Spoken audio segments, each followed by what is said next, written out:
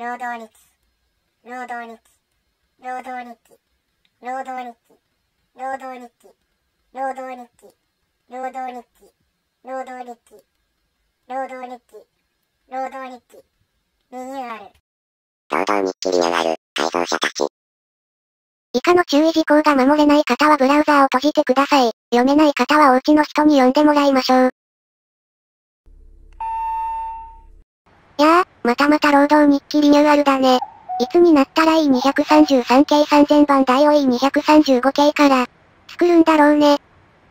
あれやな、E233 系3000番台のプラレールが連結仕様で新発売されるらしいから、上本 E233 系3000番台を新造する気なさそうやで。それよりも 3000S の再改造計画の方が進んどるで。あの傑作品がまた再改造されるのか。おはよう、俺の噂話でもしてるけどどうしたんだいどうやらお前が、また改造されるみたいな噂があるけど本当か改造というか新造されるよ。今度破側面をプロッターでリアルに再現して。新車入れる金あるなら、俺たちの給料上げろや。21年3月の腰つべの売り上げ、過去最高益更新したって言ってたのに、なんで俺の給料派下がるんや。上本は自分の利益しか考えてないのもあるけど、私鉄化推進して利益伸ばしたわけだし、そりゃ鉄道にかける予算削るわな。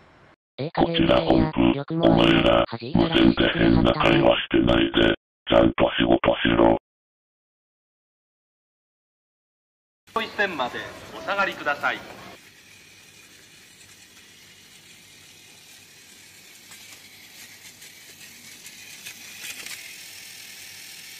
こちら本部、320HK の運転手。現在 320HK がガラス破損を起こしました。これからの運用を取りやめ、改装で修理工場までお願いします。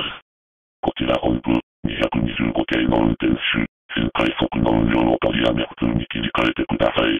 ただいま、2番線に停車中の電車が窓ガラス破損を起こしました。2番線に停車中の電車にご乗車のお客様は、1番線に停車中の普通列車にお乗り換えください。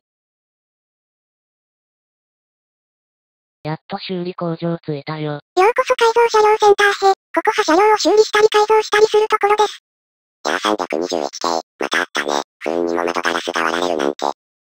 最近ついてないな。給料派下がるし、窓ガラス剥割れるし。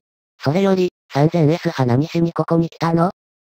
新しい 3000S がどのくらいできてるか見に来たんだよ。まだ御堂筋線の塗装を剥がして放置されてるだけみたいだね。それより 3000S より線型のリニューアル改造が進んでるね。労働日記も7年でここまで変わったんやな。3代目 3000S も作られてから3年近く経つもんな。そろそろ4代目が作られるのか。そうだよ。僕も4代目のせいで実質リストラ状態みたいにされる時が来るんだよ。まあそろそろページなんで労働日記、この辺で終わりにします。お疲れ様でした。ちゃんと残業しろや。え大変長らくお待たせいたしました。これより一般車両基地を出まして、一般4番線まで参ります。